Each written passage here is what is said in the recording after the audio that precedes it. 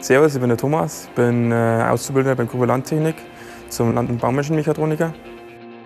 Früher, als ich ein kleiner Bub war, bin ich halt öfters zum Bauern aufgegangen. Hab, da bin ich Polo gefahren, habe ein bisschen beim Richten mitgeholfen, bin halt viel mitgefahren. Und dann habe ich mir gedacht, das gefällt mir, das probiere ich. Dann habe ich ein Praktikum gemacht bei mir im Dorf. Und da habe ich mir gedacht, ja, das gefällt mir und das möchte ich machen. Die Hauptaufgaben bei unserem Betrieb sind ähm, Überprüfen und Instandsetzen der Maschinen. Und das sind auch sehr vielseitige Maschinen von Teleskoplader bis hin zum kleinsten Traktor. Was mich fasziniert an den großen Maschinen, ist einfach die Leistung, die hinter diesen Maschinen steckt.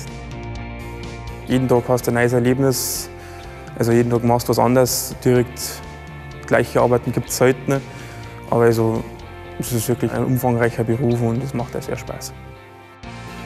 In unserem Beruf kommen wir auch oft raus zu den Kunden. Wir haben auch sehr viel Kundenkontakt, auch in der Werkstatt und draußen auf Montage. Das ist auch einfach ein Erlebnis für sich, die unterschiedlichen Kunden kennenzulernen. Das, was mir am meisten Spaß macht in meinem Beruf, ist einfach das Zerlegen von Teilen und das wieder zusammensetzen und die Teile funktionieren danach auch. Und das ist einfach ein schönes Erlebnis. Also mit meinen Kollegen komme ich super aus. Wenn ich Fragen habe, kann ich jederzeit fragen. Wir haben auch unseren Spaß. Aber im Großen und Ganzen mache ich eigentlich meine Arbeitstätigkeiten selbstständig.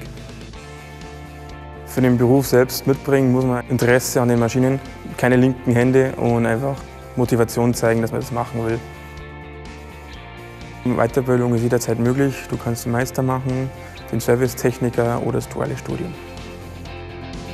Also den Beruf würde ich wieder wählen, weil es einfach wirklich ein schöner Beruf.